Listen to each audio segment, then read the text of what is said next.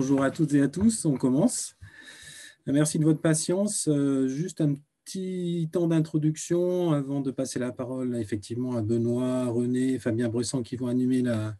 visioconférence et à nos deux intervenants.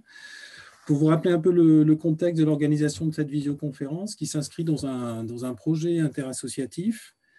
qui vise à prendre ensemble la mesure de, des, des enjeux des différentes crises sociales, environnementales et en quoi elles sont reliées, et qui vise aussi à, prendre ensemble, à partager ensemble nos envies, notre capacité à agir ensemble pour faire face à l'urgence sociale et environnementale. Alors, juste pour vous rappeler, euh, pour vous dire, ou pour vous informer que ça fait plus d'un an qu'on a lancé cette initiative, qu'elle est euh, co-organisée par plusieurs structures que vous connaissez, mais que je tiens quand même à, remercier et à citer. Donc, euh, l'Union régionale des centres sociaux d'Auvergne-Rhône-Alpes, euh, le mouvement associatif Auvergne-Rhône-Alpes, qui représente euh, ou qui rassemble euh, un certain nombre de grands réseaux associatifs de la région, la Beaucité, qui est le centre de ressources politiques de la ville pour la région Auvergne-Rhône-Alpes, l'IREPS, qui est l'instance régionale d'éducation et de promotion de la santé Auvergne-Rhône-Alpes, et le GREN Auvergne-Rhône-Alpes, qui est le réseau régional pour l'éducation à l'environnement. Voilà. Euh, cinq, acteurs réseau à l'échelon régional qui avaient euh, travaillé ensemble, l'habitude de se croiser, euh, d'échanger, de commencer à construire des projets en commun et qui se sont dit il faut qu'on avance sur ces enjeux. Je voulais vous rappeler, il y a un an, le 20 février, Le Monde publiait une, une tribune d'un millier de scientifiques français qui alertaient sur la crise et notamment l'enjeu climatique et qui appelait fortement à l'engagement des citoyens et voire même à la désobéissance civile. Euh, je crois qu'on est tous euh, confrontés à cet euh, enjeu, à cette question de l'avenir, et qu'on est très très peu finalement, ou presque personne n'a la capacité vraiment d'intégrer, de, penser, de, de, mesurer les conséquences du changement climatique, mais aussi de l'ensemble des autres crises, euh, en tout cas du changement climatique, sur euh, comment on va vivre, sur comment on va travailler dans nos associations, comment on va continuer à porter des projets ensemble. Et voilà, et nous sommes tous convaincus ici, en tant qu'acteurs éducatifs, que l'ensemble des acteurs de l'éducation, de la formation, de la sensibilisation, de la participation citoyenne ont un rôle primordial à jouer. Alors on sait tous que dans, la, dans les constats qu'on a commencé à poser euh,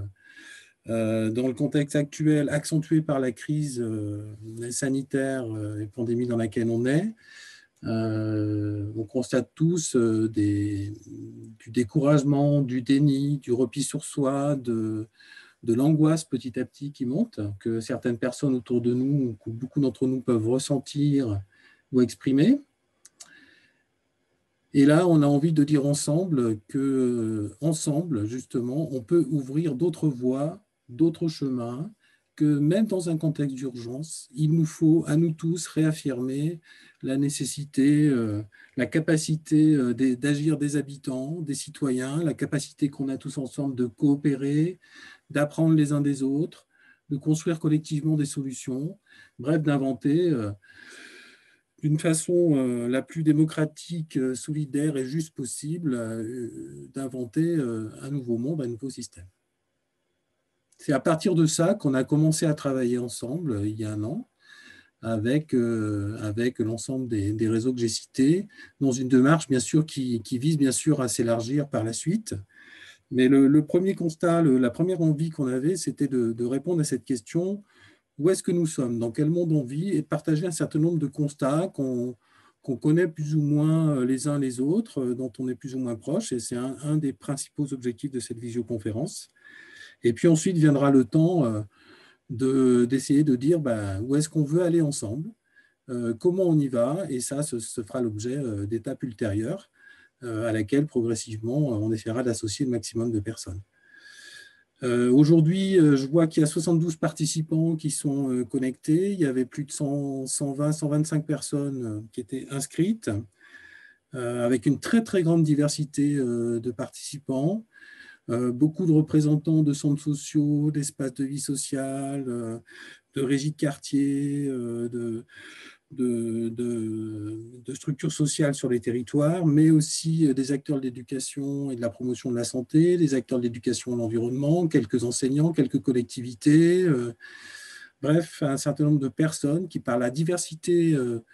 des champs et des secteurs qu'elles représentent, que vous représentez là, partagent ce souci de réfléchir ensemble, d'inventer quelque chose de nouveau pour réfléchir ensemble à comment on avance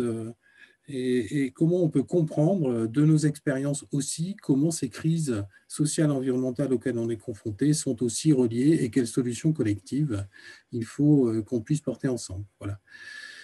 Euh, je passe maintenant la parole à Benoît René Dugraine et à Fabien Bresson de La Beaucité qui vont euh, animer la visioconférence.